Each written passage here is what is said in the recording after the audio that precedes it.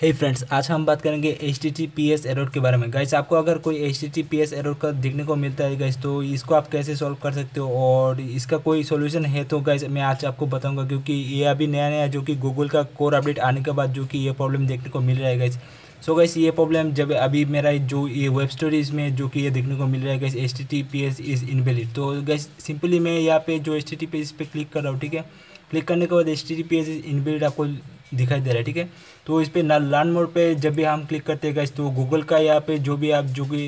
इस एच को लेकर आप इस चीज़ को आप यहाँ पे पढ़ सकते हो गाइस इस, ये जो H T T P S का जो उतना बड़ा जो कि प्रॉब्लम नहीं है ये, आप यहाँ पे जो कि open H T T reports आप चेक कर सकते हो गाइस तो जब भी आप इस पर क्लिक करते हो गाइस तो आपको बोलते हैं कि आपका प्रॉपर्टी सिलेक्ट करने के लिए तो यहाँ पे आप प्रॉपर्टी आप सिलेक्ट कर लेना गाइस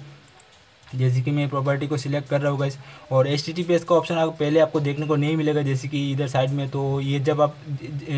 सिलेक्ट करोगे तभी जाके आपको जो कि इधर एक्सपीरियंस के नीचे आपको एच ऑप्शन देखने को मिल जाएगा, ठीक है? तो एच का जितना भी आपका जो एरर्स वगैरह रहेगा तो यहाँ पे आपको दिखाएगा, यहाँ पे मेरा ज़ीरो दिखा रहा है, क्योंकि अभी इशू नहीं चल रहा है तो ज़ीरो ही दिखा रहा है, ठीक है? एच का जो ऑटोमेटिकली फिक्स हो जाता है गैस तो ये आपका जो कि ऑटोमेटिक फिक्स हो जाएगा वन वीक या कुछ दिन के अंदर ही ठीक हो जाता है गैस तो ये इतना बड़ा प्रॉब्लम नहीं है जो कि ये गूगल कोर अपडेट के बाद ये कुछ लोगों को देखने को मिल रहा है और बहुत लोगों को ही देखने को मिल रहा है बट ये ऑटोमेटिक पिक्स हो जाता है गैस सो या गैस